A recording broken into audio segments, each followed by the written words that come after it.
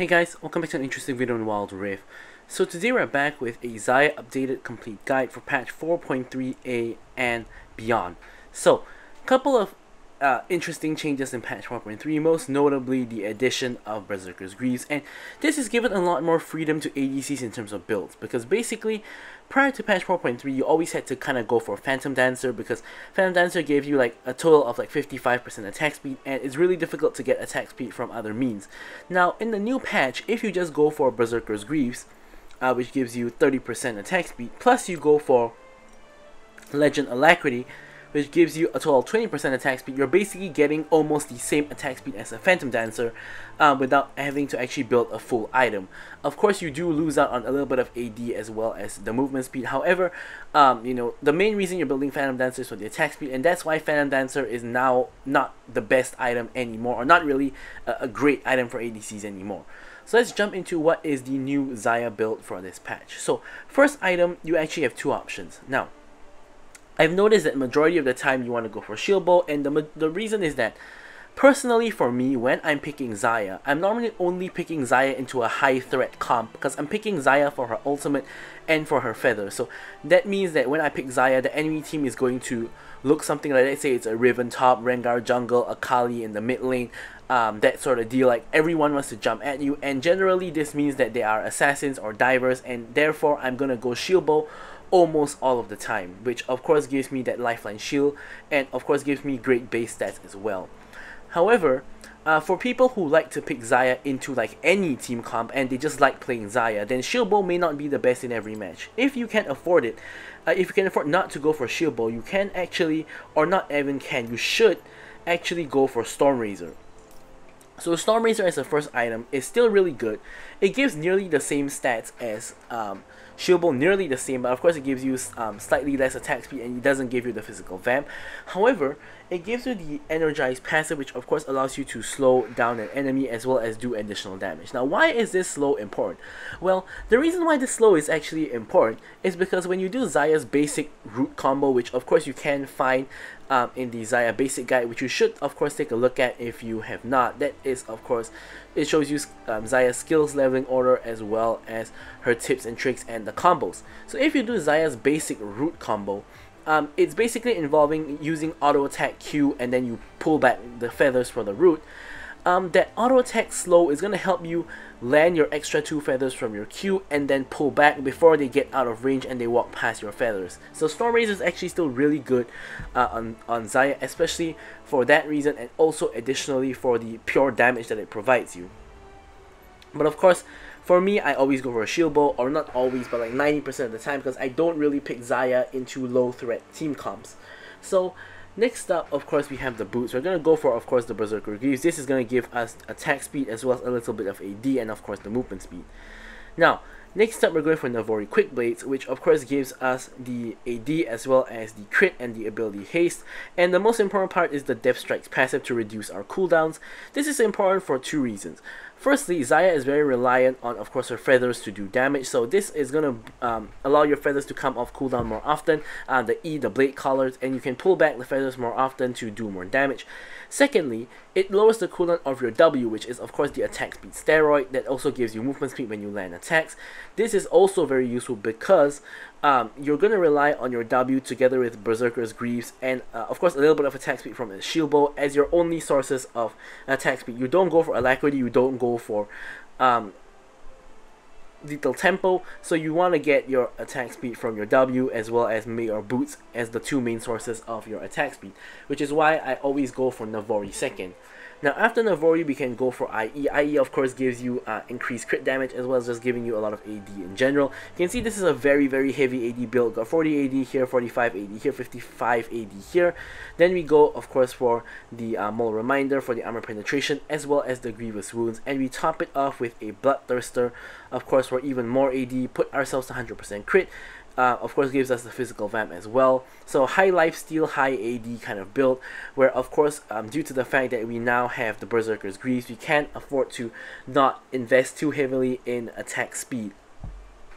So if you decide to go for Phantom, uh, not Phantom, if you decide to go for Storm Razor as your first item, you can actually go for Shield Bow as your last item instead of Bloodthirster as well. Uh, that is also an option. So for the runes, we want to go for Conquer, and as I mentioned, we don't want to go for Lethal Tempo because we already have enough attack speed from uh, Berserker's Greaves and Navori Quick Blades, and Conquer just gives you more value because it gives you more AD as well as, of course, giving you the Omnivamp as well. Brutal, of course, to increase our attacks on champions.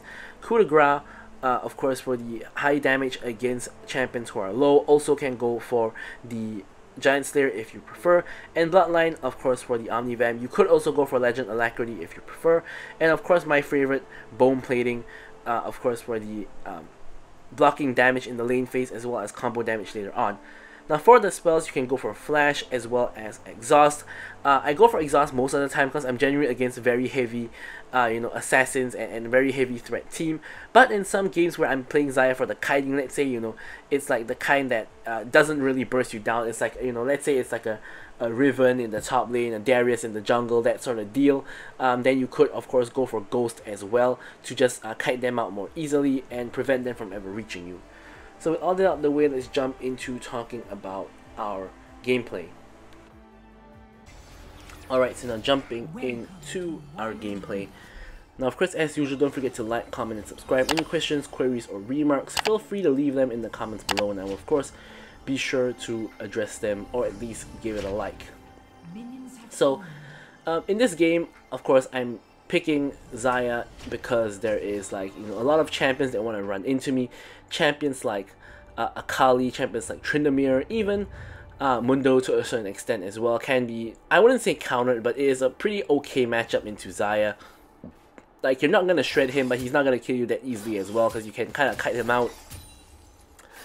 And of course, a very bad matchup for Xayah here is actually Xayah against Braum because Braum is going to actually block all of Xayah's feathers, and he's not really someone who wants to jump into you. He's going to uh, block your feathers with the shield and prevent you from laying down feathers behind people. So Braum is actually quite a hard counter to Xayah, but of course I did know that um, picking Xayah into Braum, so that was kind of a choice. And Caitlyn versus Xayah, of course Xayah is not really the best matchup into Caitlyn either, uh, but arguably who is really a good matchup into Caitlyn? Maybe like Ashe is an okay matchup into Caitlyn, but there are not too many champions that could be considered a good matchup into Caitlyn. Either way, here you can see Caitlyn, um, you know, mispositions into the feathers, and here I'm um, able to almost, okay, we do actually manage to kill her, and then here we're gonna root the Braum as well, and Soraka finishes off the kill, unfortunately, but we do get, um, you know, both of both the support and the ADC. Now, this is a really important lesson when playing uh, against Xayah, and it's one of the reasons why Xayah is actually performing a lot better than what she should, especially in um, lower elos. Maybe like in um, mid mid master or so, people are playing well against Xayah, but in a lot of like lower elo games, like let's say Diamond and below, people don't play well against Xayah, and the reason that for that is Xayah introduces an entirely new kind of like mechanic into the game where you have to pay attention to where where her feathers are and if you don't there's really dire consequences. And there's not too many champions that do that. I mean you do have things like Caitlyn Trap but those are like really obvious that you can walk around whereas Xayah's feathers are sort of like temporarily on the ground and you really have to pay attention to where they are. If not they if not you will get rooted. And that's one of the the main reasons why uh, people tend to play badly against Xayah, and sometimes Xayah tends to overperform just because of how people play poorly against her. But I played Xayah, you know, in like uh, high master, like almost grandmaster, and I found Xayah really hard to play because most of the time people are not going to let let themselves get rooted. They're gonna know that your feathers are there, and they're not going to overcommit to traits like what this Caitlyn did. The Caitlyn clearly, you know, I know what she was thinking. She was obviously trying to get the stun off from Braum's passive, which she did manage to do, but uh, in doing so, she put herself in a very bad position. Uh, ends up getting uh, chain rooted uh, by me and Soraka and just basically gets destroyed afterwards. So it's kind of really uh, unfortunate, um, you know, what happened there uh, for her. Here, Pantheon goes in. Um, uh, Caitlyn's gone to safety, so he can only really go in on Braum, but Braum still has the stand uh, stand behind me up, um, so he can, um, of course, just dash to Caitlyn uh, to safety, doesn't even uh, need to flash here, so not too much we can really um, do uh, in terms of picking up kills in this situation. Another interesting thing is, I don't know if you guys noticed, but I recently noticed you can actually rearrange the order of champions in the replay tool. So you can see that uh, from like a couple of videos ago, I started to arrange champions based on role. So you can see that now we have Garen on the top, followed by Pantheon in the jungle, followed by Lux in the mid, and then followed by me, and of course my support. So it is um, now all in order. You can see the direct uh, lane matchup comparisons in terms of items, goal, and, and whatnot. I think that that's definitely more useful than taking a look at pick order because draft in solo queue is honestly not too important in terms of the pick order. Like, Braum, like for example, in pro play would only ever be last pick because Braum is hard countered by enchanters, but in solo queue people first pick Braum anyway, so like you know that doesn't really matter all, all that much in, in solo queue. So, uh, anyways, um, you know, so we arranged it in terms of uh, lanes, and so it's a lot easier to see. So of course, with that lead we got against Caitlyn, we are able to of course pick up Shield Bow, and honestly, picking up one early kill against Caitlyn in lane kind of just ruins Caitlyn's life. So we don't really even have to kill her again here. Like you can see that uh, already just off of that one uh, one kill, we not only got a goal lead against her, but we also prevented her from um, using her strong early game, which if she doesn't have an incredibly dominant early game, she's gonna have, uh, of course, a very weak mid game because she's not a hit, and she's only gonna come back in the late game. So just by getting one kill on her, we've essentially already shut the Caitlyn down, and we don't really have to do anything overly aggressive or we don't really have to we're not really pressured to really do anything here because uh, Caitlyn is already kind of semi incapacitated by this point just based on the fact that she died once which is of course really good news for us. Here dragon fight uh, we already have like our first item and uh, of course, Caitlyn has only now just back for her first item, and same goes for everyone else on the enemy team basically, but you can see here that we are already on the dragon, whereas the enemy team still takes time to come. Here, Tryndamere actually comes in, nearly gets the steal, but ends up getting chain CC, stunned, rooted. He tries to, I don't know why he's trying to go in for a kill on us, because no one is really even low. I thought that it would have been better for him if he tried to uh, you know, dash back over the wall if his cooldown can come up. But he just runs straight at us and basically means that he has no chance to escape and probably no chance to kill either because there's so much CC and he doesn't have enough damage to really one-shot anyone at the moment. So now with Braum um, backing, here me and Soraka are going to try our best to take some tower plates. Uh, my team is contesting the, the Rift Herald and they have actually gotten the Rift Herald as well because the enemy team doesn't really even bother to contest. So here uh, you know, it's going really well so far. We're winning lane, we got Dragon, we got Herald, and the game is going very, very swimmingly um, so far for us. But of course, we don't really know what the rest of the game holds. I mean, of course, I do because it's, it's a replay after all. But I mean, we're, we're gonna see what happens afterwards. We pick up our um, our Berserker's Greaves, of course, for that attack speed and you know one and one and a half items. I guess you can say boots is half an item. We're, in really good uh, shape at the moment. So something very interesting is that due to how far ahead I am, I realize I realized that actually uh, I haven't even needed to ult this entire time. Like I, I realized like the first time I ult in the game is around level 11 or so. I realized that I didn't ult the whole game, which is actually pretty funny because uh, my personal in interpretation of how Xayah is meant to be played is her ult should be used almost purely only defensively, and the only time you want to use Xayah's offensively for me is of course when you want to uh, get the extra range to pick up a kill because Xayah's ult range is uh, longer range than her auto range. Like when someone's 1 HP you can use your ult to of course uh, you know kill them now another use of Xayah's ult is actually, is actually laying down feathers but I never really uh, use Xayah's ult in that way personally because I find that you know just using it for uh, for the purposes of defensive uh, uses is a lot more useful so here me and Pantheon get into an extremely long skirmish. We already picked up one kill. Here we're to pick up another kill. And uh, here we go on Rampage, pick up the Braum kill as well. This is actually an extended triple kill because we also got the first kill on Tryndamere. But of course the timer uh, has ran out, so it, ends up being a single kill plus a double kill. Uh, either way, we get three quick kills uh, for ourselves. And uh, that's a huge injection of gold for us. And here I'm actually really close to getting the Vori. I'm like 100 gold away, so I decide to actually uh, cancel my back at the last minute to try to get the enemy Krugs. So here I spot the control I actually removed the control ward and because uh, and because uh, someone destroyed a tower on my team, that gives me the 100 gold that I need. Of course, 75 plus 30 is like 105 gold, so we have enough for Navori. And we're gonna back and actually pick up the entire Navori Quick Blades. So you can see that we're now extremely ahead. You can see in terms of gold, um, we're now at 7.5k, which is by far the most in the game. And you can see compared to Caitlyn, who has only 4.7k, uh, huge, huge lead for us. 3k goal lead over the enemy ADC uh, at the moment. Uh, from the direct comparison, we can now see on the uh, on the scoreboard, now arranged in order, of course. And uh, And yeah, so now enemy team has now gone objective bounties. We're 7k gold up as a team against the enemy team. All of our lanes are actually doing very well. I'm super fed, so is Lux. Um, of course, the rest of our team is just doing alright, but overall as a team, we have a really, really huge lead, um, you know, you know, all together. So here, once again, just gonna quickly clear up the wave, and honestly, not too much is happening here we could technically go around looking for a fight against the enemy team because we're so far ahead, but really, you know, there's no real point. There's nothing. There's no Baron. There's no Dragon to take anyway. I'm just gonna take the Skull to secure the vision on on uh, the the Dragon Pit area. Uh, my team picks up another kill onto the Akali, and I'm just going to mid to clear out mid wave. Unfortunately, um, the Braum and the Caitlyn are actually taking top wave and top tower, but I decided it's probably not too uh, worth to run all the way back there to, to defend the tower. So instead we're going to try to push the mid tower instead and see if we can trade the tier 1 tower for a tier 2 tower.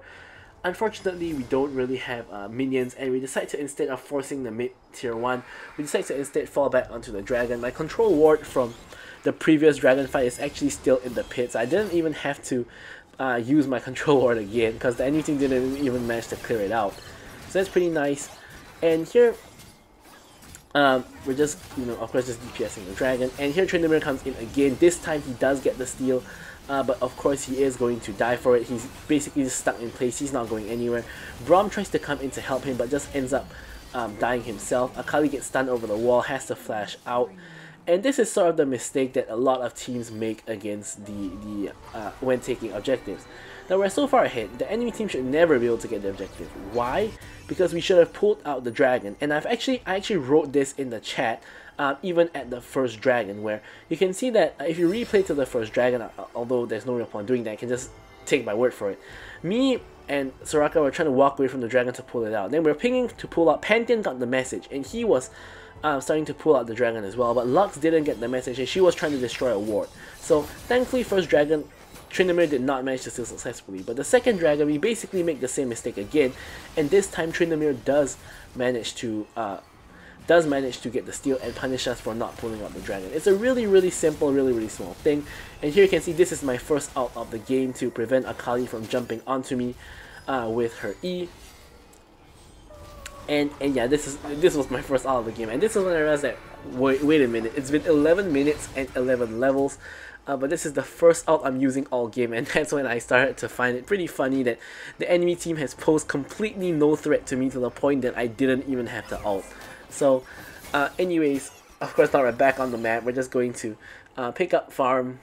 Since my whole team is just trying to farm mid lane and no one is farming the jungle, I'm just gonna go to the jungle instead. No reason to fight my team for farm when there's farm in other places. Here I'm starting out the red buff. I was pinging on my way because I wanted the Pantheon to come here to take the buff to get the buff share, but he just ignores the buff and goes straight for the fight. Not exactly a wrong move, so instead I'm not going to waste any time. I'm going to pick up the buff myself, and I'm going to run to the fight and see if, you know, I can help out my team. Here I actually end up frontlining for a little bit because, you know, uh, no one's really focusing me. Anyway, here I'm getting focused by Tryndamere. I pop the ulti and I try to root him. But unfortunately, I don't know how he managed to kill me here. Like, it didn't seem like I was in his attack range uh, when I died. But apparently the damage must have gone through or something like that. And I just ended up dying. Could have actually just flashed away. But I didn't think that I needed to flash because I rooted him under tower. I thought I could just walk away. But, uh, you know... I, because I got a little bit greedy with my summoner spell, I end up dying and giving over the shutdown um, to Tryndamere, which actually is not a problem because if you take a look at the scoreboard, even though like I'm 5-1 and 5, Garen's 4 and 1, Lux is 4-0 and 8, they can see that in terms of goal, um, actually has more gold than all of us. Like I'm at 10.3 gold, Tryndamere is at 10.4, uh, which is by far the most in the game. So despite being 4, 5, and 1, Tryndamere has actually been farming extremely well, and he's actually really, really fed. So this is sort of an issue, of course, because Tryndamere uh, poses a very huge threat to me because even though I'm Xayah, I can ult, I can root, but that can only buy so much time. Tryndamere outlasts a really really long time and if I ult and if I root him, you can see that I still managed to die anyway even though I was with my entire team. So that was that's not too good news for me. So I'm gonna have to really look out for Tryndamere here and hope uh, that I don't just end up dying to him. Here you can see Tryndamere get spotted by the Garen, ends up having to run away. And here, uh, you know, even though Tryndamere is very fat, don't forget that uh, my, my team is still incredibly fat, and the rest of his team is not doing too hot. You can see like Akali is only on one item, um, so far. She only has one item and a couple of components. Caitlyn has only just reached her uh, Phantom Dancer, which in my opinion is no longer the optimal Caitlyn build. Uh, we're gonna see if we can, of course, get a Caitlyn uh, gameplay and uh, do a new Caitlyn video uh, soon.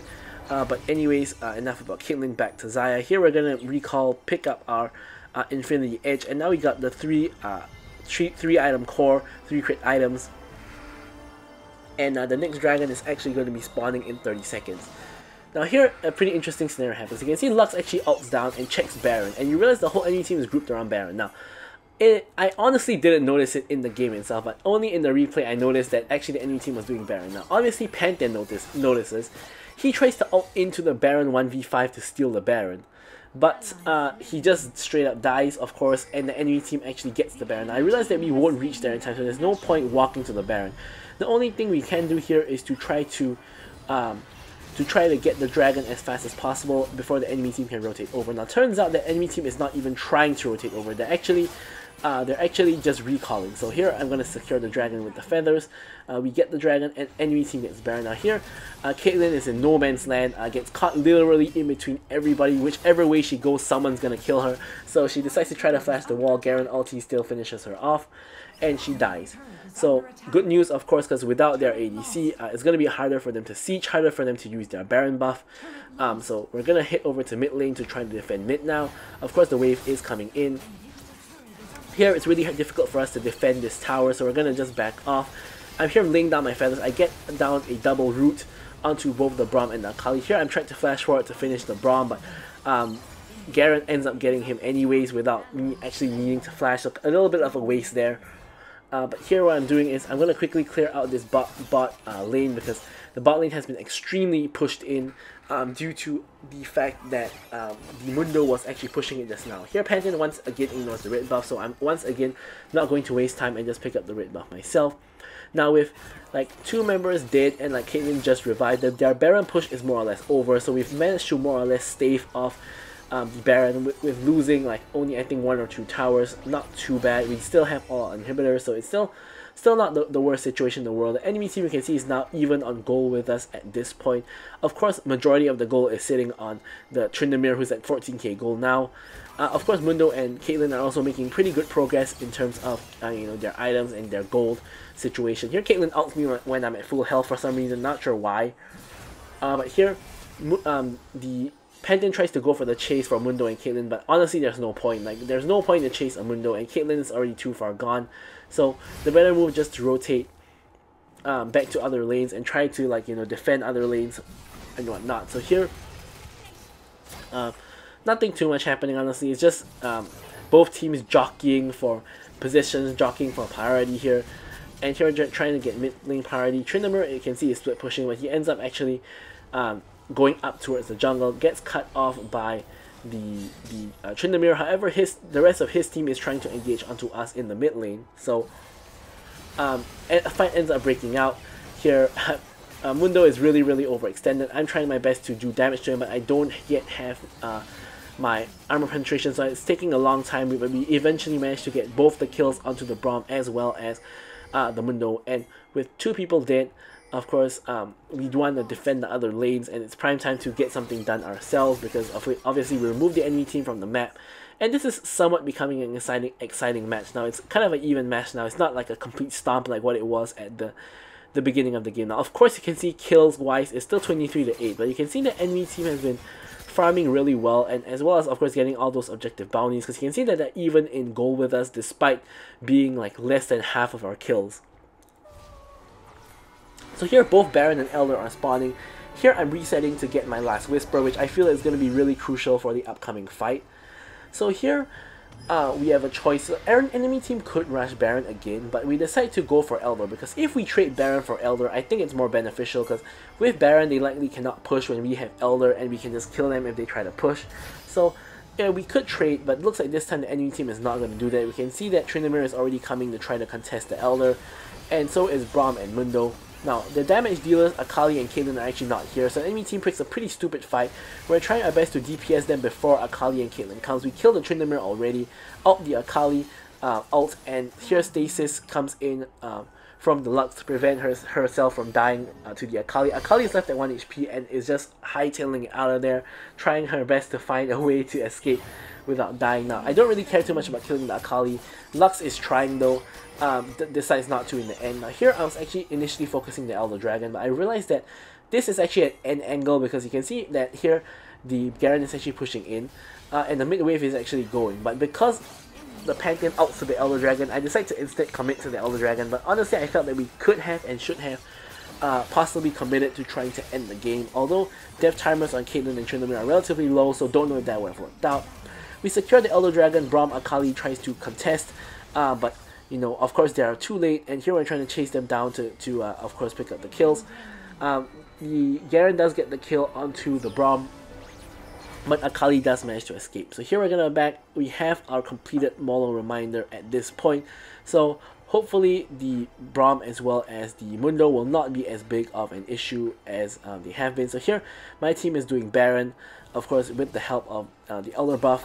It's going to be really difficult for any team to come and contest. Here, just laying down the feathers to make sure Tryndamere can't go in. He decides to go for kills instead of going for the for the Baron, which is kind of mind-boggling actually. So he uh, you know, I managed to kill Akali on the bat.